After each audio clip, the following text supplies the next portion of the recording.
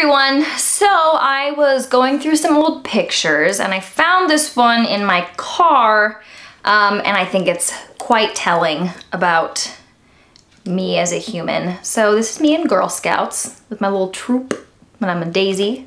So can you guess which one me? I'm in the middle, looking adorable and obviously loving it much more than these other kids are. Anyway, yeah,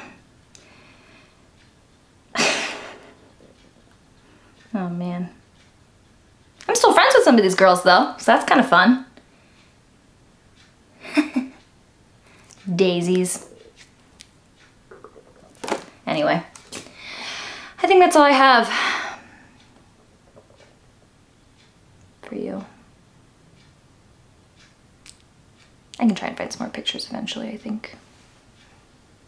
Who knows? There's two blogs in one day! Oh God. Anyway. Bye everyone.